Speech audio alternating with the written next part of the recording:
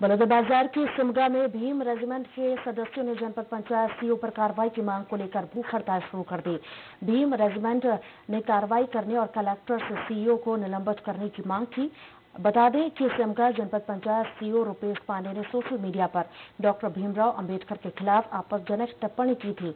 मामले में भीम रेजिमेंट ने थाने में एफआईआर दर्ज कराई थी, लेकिन पुलिस की ओर से कार्रवाई नहीं की गई। संविधान निर्माता बाबा साहब डॉक्टर भीमराव अंबेडकर जी के बारे में अभद्र टिप्पणी सोशल मीडिया के माध्यम से शेयर किया है, जिसका शिकायत हम लोग प्रदेश के सत्तर बहत्तर थाने में किए हैं, साथ ही सिमगा थाने में एफआईआर दर्ज तो हो गई, लेकिन किसी भी प्रकार का कानूनी कार्यवाही नहीं की गई।